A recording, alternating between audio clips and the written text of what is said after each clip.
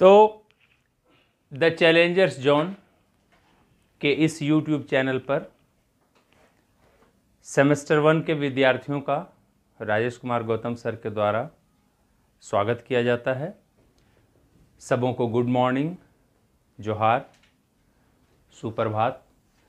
आज English ACC paper one बिनोवा Bhave university, इसके बारे में मैं पुनः चर्चा करूँगा। इसके पहले मैंने ए पर एक वीडियो बनाया था, जो कि आप लोगों के द्वारा काफ़ी पसंद किया गया। उसमें अच्छे खासे व्यूअर्स मिले। और उसी को देखते हुए आज पुनः उसको मैं चाहता हूँ कि आप सबों के लिए एक बार ये एक अलग वीडियो बनाया जाए। उसी में मैंने for all core all general course and all vocational core के लिए बनाया है ये वीडियो। ड्यूरेशन इसका डेढ़ घंटे का है इस प्रश्न का और फुल मार्क्स चालीस होता है। तो जब आप इंग्लिश में एसीसी में आप इंग्लिश को चूज़ करेंगे तो उसमें आपको 40 नंबर के एग्ज़ाम देने होंगे। उस 40 अंक के परीक्षा में आपको सबसे पहला जो प्रश्न है, वो एक पैसेज पे आधारित प्रश्न मिलेगा।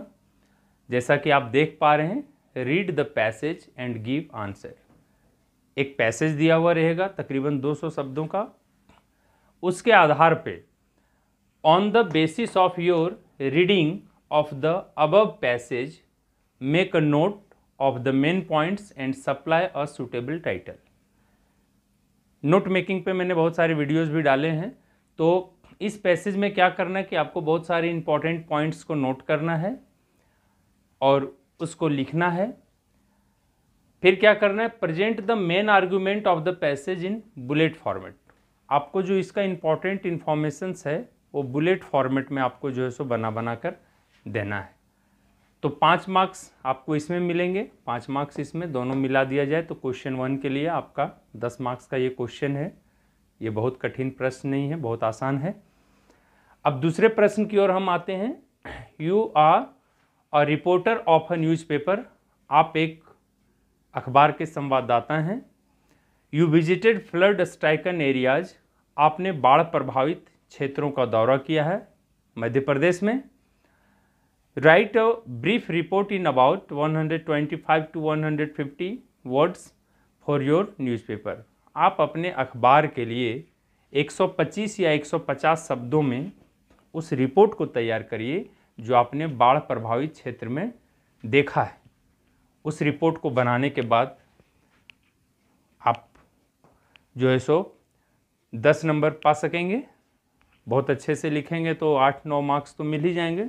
तीसरा प्रश्न तीसरा प्रश्न जो है हाँ उसमें हम देख रहे हैं write an application in response to the following advertisement you may submit a brief resume along with your application इसमें क्या है कि एक एप्लीकेशन लिखना है, एक विज्ञापन के विरुद्ध, और उसमें हमको क्या करना है कि एक अपना रिज्यूमे सबमिट करना है।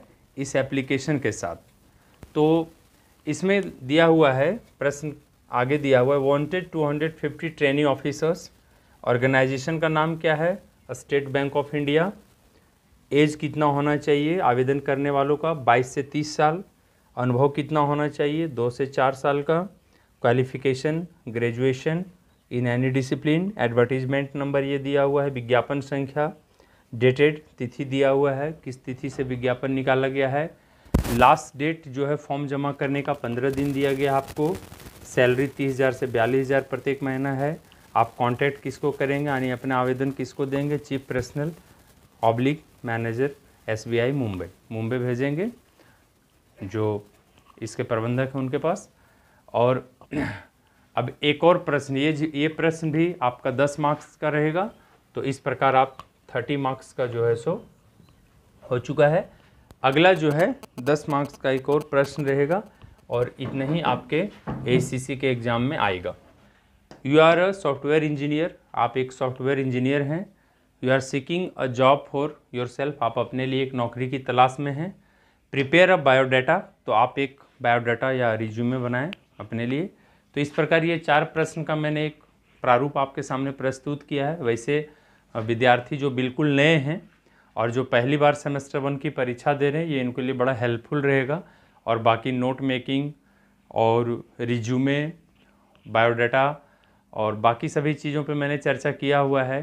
पहले के वीडियोस में तो आप उसको देखें, सर्च करें, चैलेंजेस जोन में जाएँ और videos by Rajesh sir, topic को उसमें टाइप करें, आपको सब मिल जाएगा। ये बिल्कुल एक नया प्रारूप है और ये एक तरह से आप सबों के लिए एक सुपर गेस क्वेश्चन टाइप से भी है। ऐसे हर एक साल देखा गया है कि जो भी ए में प्रश्न पूछे जाते हैं, उसमें पुनरावृत्ति की चांसेस बहुत कम है। क्योंकि 2016 से अभी तक देखा जाए तो ज़्यादातर वर्षों के प्रश्नों में मैंने ये पाया है, जब मैंने सारगर्भित तरीके से उसका अध्ययन किया तो देखा कि हर एक साल के प्रश्न भिड़ते नहीं हैं, मिलते नहीं हैं। जो सेम टू सेम क्वेश्चन है, वो नहीं मिलेंगे। हाँ उसी के पैटर्न पे ही प्रश्न आना है तो चार प्रश्न आपके पास हैं तो उसी प्रश्न को आप उसी तरह से अभ्यास करें।